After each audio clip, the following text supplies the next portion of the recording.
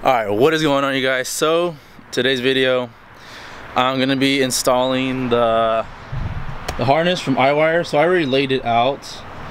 Um, so the two grommets, this will be going to engine bay, obviously it's ECU. This is to be the passenger side, and then this is for the fuel pump. I'll show you guys how to do that. And then here is the driver side. And then here is what goes to um, on the fender, the driver side fender through the hole to the engine bay as well.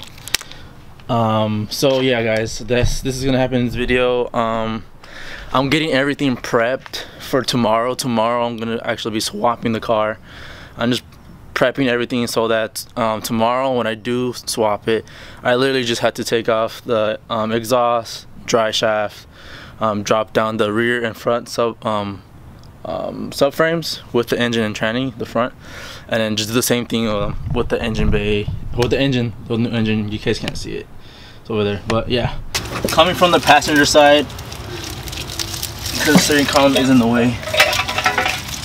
Here's the bulkhead side for the driver side, and then here's what goes to the fender. So let me just grab this.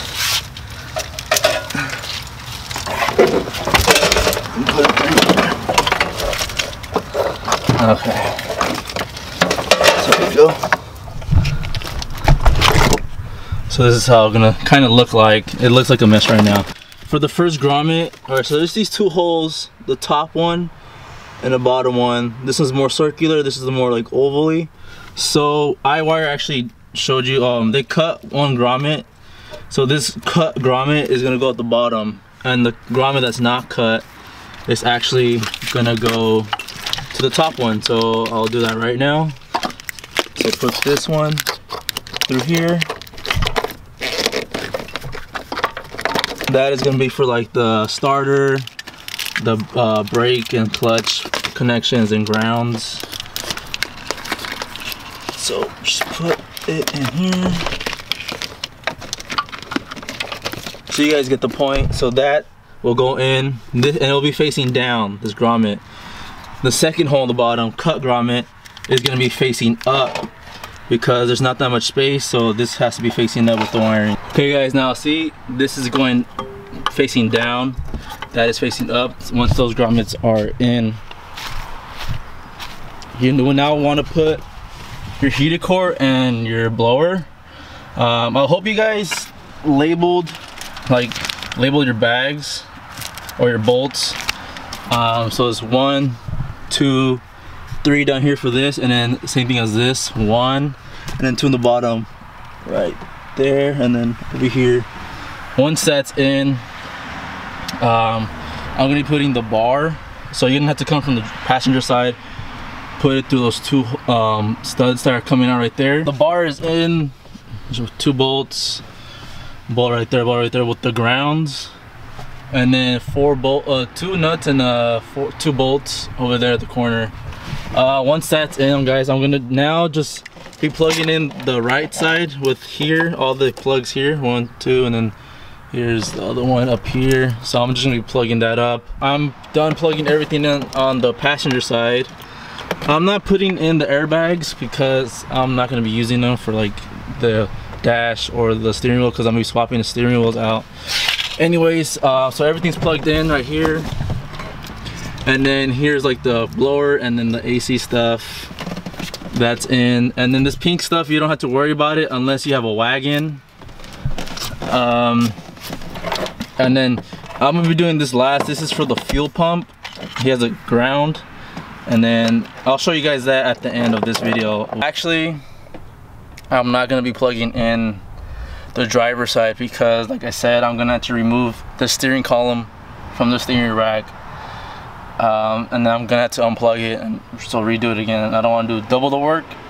And as well because um, this wiring right here with the two heads this long one uh, this one has to go through the fender and I'll show you why. Go through the fender come out and on the JDM, well this is like the 05 STI.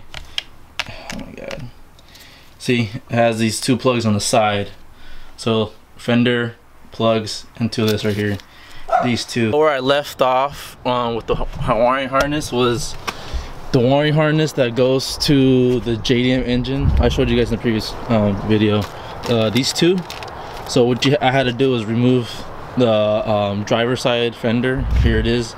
And it's just like three bolts right here.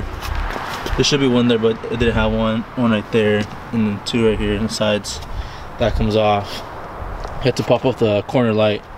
And then there's a little grommet right here this grommet.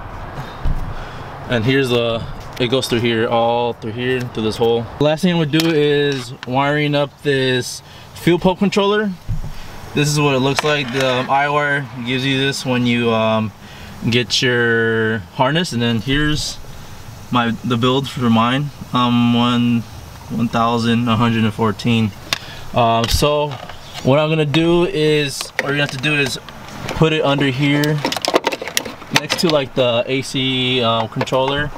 Just um, zip tie it zip tie it to the harness. And then it has its own ground. Um, do not ground this with anything else. This should have its own ground. Um, and there's one hole right here. Um, you guys can't see it but be there's two holes. This one's already grounded but there's a separate one right here. Ground that and then this wire will go through all this plastic trim.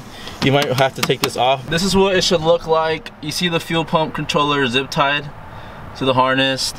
And then here is the second ground. This is the ground to itself it's not, I'm sorry, it's not focusing, guys. Uh, focus. It's not focusing to the one. But that's the ground right there. And then, let me zoom out. The wiring, the, the little white wire that goes all, should go through here. I just took off the rear piece right now because I haven't taken it off. And then it goes back here. And then you have to take your back seats off, which is just two 12s. One right here, one over there. It's pretty easy and then now all right so you're gonna have to come find this connection a white connection. Uh, the wires are gonna have a black with a red stripe and then a black. What you're gonna have to do is this is very important guys. From the body side not not this side the body side you're gonna have to cut the black wire. Cut it like about so and you're gonna crimp this white wire to this black. This white wire should be crimped on and iWire did provide this which is really cool. Thank you guys. Uh, they provided this crimp. Uh, so this is the body side like I said. There's one wire that's all black one wire that's all that has black and a red stripe. You're supposed to cut the body side of the black wire and you just crimp it on like this. Uh, this goes to your fuel your fuel pump and yeah so that's it. Um, This is a mess, guys. Like, this is crazy. I'm gonna end it here, guys. And then the next also videos would be installing, or not installing, but swapping in the STI engine. So, alright, guys. If you guys enjoyed, please like, subscribe, comment down below. Um, I'll see you guys in the next video. Alright, later. Am conversating with myself. Deja vu.